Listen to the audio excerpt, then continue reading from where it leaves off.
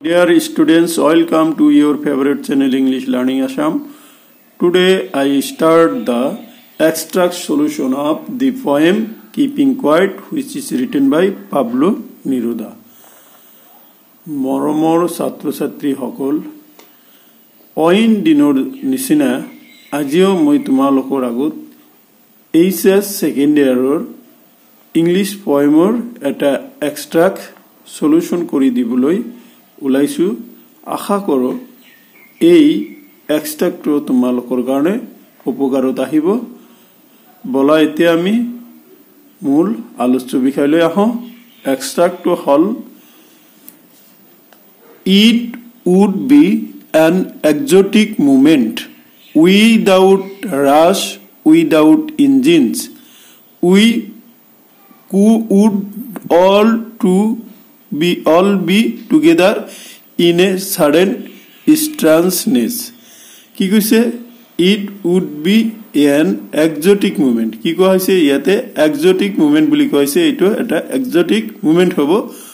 Without rush কোনো দৌৰা দৌৰি খৰখেদা নকৰাকৈ উইদাউট ইঞ্জিন কোনো ইঞ্জিন বা ইঞ্জিন নথকাকৈ we would all be together আমি সকলোৱে একেলগে হ'ব পাৰোঁ। আমি সকলোৱে একেলগে হ'ব পাৰোঁ ইন এ ছাডেন ষ্টেঞ্চনেছ সকলোৱে আমি হঠাৎ একেলগে হৈ যাব পাৰোঁ অ'কে গতিকে এইখিনি আছিলে এক্সট্ৰাক্স এই এক্সট্ৰাক্সৰ ওপৰত ভিত্তি কৰি তলত ছয়টামান কুৱেশ্যন দিয়া আছে। তোমালোকৰ পৰীক্ষাত এই ছয়টা নিদি চাৰিটা চাৰি নম্বৰহে আহিব গতিকে এই ছয়টাৰ ভিতৰত এই এক্সট্ৰাক্টটো যদি তোমালোকৰ পৰীক্ষাত দিয়ে এই ছয়টাৰ ভিতৰতে এটা চাৰিটা কমন পৰি যাব। গতিকে তোমালোকে এই কুৱেশ্যন আনচাৰখিনি ধুনীয়াকৈ আগতে বুজি লোৱা তাৰপিছত নোট ডাউন কৰিবা তাৰপিছত ঘৰত পঢ়িবলৈ যত্ন কৰিবা কিয়নো তোমালোকৰ অহা H S second year pre final এক্সামিনেশ্যনৰ কাৰণে এই ভিডিঅ'টো খুবেই দৰকাৰী। গতিকে তোমালোকে অহা H S pre final S S final টেষ্টটো ভালকৈ প্ৰিপেয়াৰ হৈ দিবা। কিয়নো ইয়াৰ মাৰ্ক আমি কিন্তু বৰ্ডত পঠাব লাগিব। গতিকে বৰ্ডত পঠোৱা মাৰ্কখিনি কিন্তু তোমালোকৰ খুবেই দৰকাৰী। আৰু কেনেবাকৈ যদি তোমালোকৰ এই বছৰৰ যোৱা বছৰ নিচিনাকৈ পৰীক্ষা নহয় তেতিয়াহ'লে এই মাৰ্কৰ ওপৰত ভিত্তি কৰি কিন্তু তোমালোকৰ ডিভিশ্যন এইবিলাক আহিব। গতিকে তোমালোকে ঘৰত মই পঠোৱা ভিডিঅ'খিনি মই মনোযোগেৰে শুনি বুজি লৈ নোট ডাউন কৰিবা অ'কে? আৰু মই তোমালোকৰ কাৰণে পোৱাট্ৰি এইটো পোৱাট্ৰি কোৰ্চটো কমপ্লিটেই হ'ব। ইপিনে মই হেৰি ষ্টাৰ্টে কৰি দিছোঁ। দ্য লাষ্ট লেচন প্ৰায় শেষৰ পিনে গৈ আছে অহা দুই এদিনৰ ভিতৰত তোমালোকক এটা পেছেজ যাৰ পৰা নেকি দহ নম্বৰ আহে পেছেজ আলোচনা কৰি দিব কৰিবলৈ চেষ্টা কৰিম ঠিক আছে বাৰু এতিয়া আমি কুৱেশ্যন লৈ আহোঁ number one name the poem and poet of this lines এই যে লাইনখিনি কি লাইন ইট উড বিৰ পৰা এই লাইনখিনি কোনটো কবিতাৰ পৰা লোৱা হৈছে আৰু সেই কবিতাটোৰ কবিজন কোন the name of the poem is keeping quiet এই কবিতাটোৰ নাম হ'ল keeping quiet the poet is Pablo Neruda আৰু কবিজনৰ নাম হ'ল পাবলো নিৰোদা এইটো তোমালোকে জানাই যে পাবলো নিৰোদা লিখা কি? কিপিং কোৱাইট কবিতাৰ পৰা ওপৰত লাইনখিনি লোৱা হৈছে। Number two what kind of movement will it be এই মুভমেণ্টটো এইটো কি হ'ব? মুভমেণ্টটো এইটো কি হ'ব?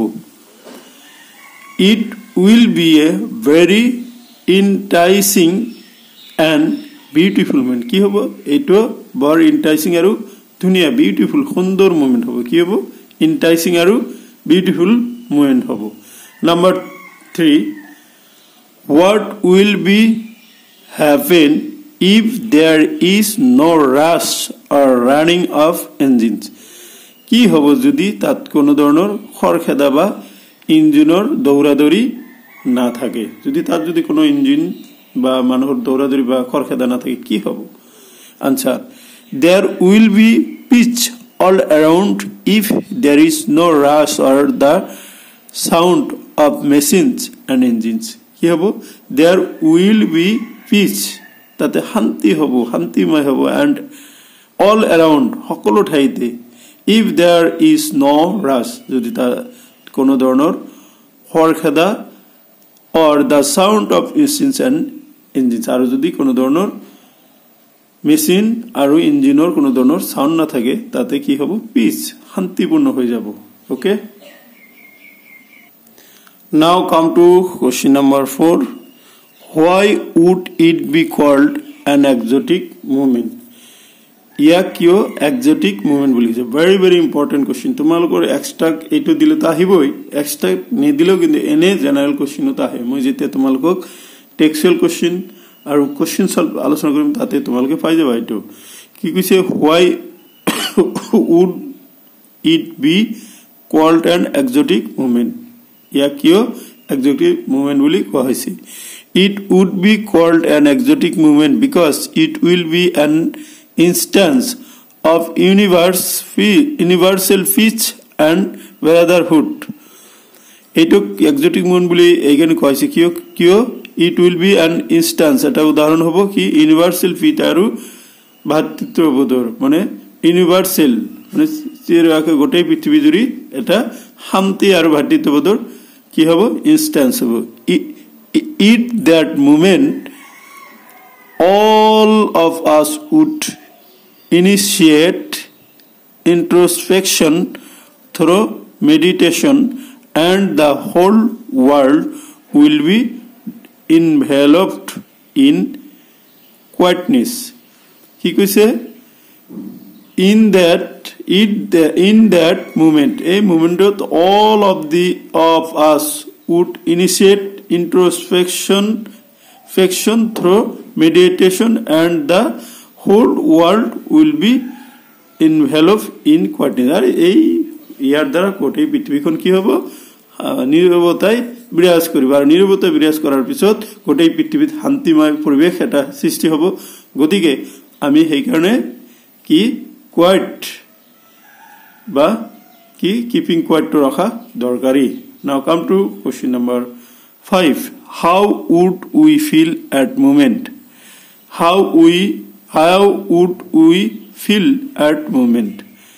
All answer, all of us will enjoy the sudden strangeness and unusualness of that moment. কি কৰিব লাগে যে all of us will enjoy আমাৰ সকলোৱে এনজয় কৰিব লাগে the sudden strangeness and unusualness of that moment সেই মুমেণ্টৰ কি ষ্টান্সনেছ এণ্ড আনইউজুৱেলনেছটো এনজয় কৰিব লাগে কুৱেশ্যন নম্বৰ ছিক্স ছিক্সত কি আছে find word from the passages which mean পেচেছৰ পৰা কি উলিয়াব দিছে ৱাৰ্ড উলিয়াব দিছে যি ৱাৰ্ডে এই তিনিটা মিন কৰে অৰ্থ প্ৰকাশ কৰে ইনটি ইনটিচিং ইনটিচিং দুই two number machines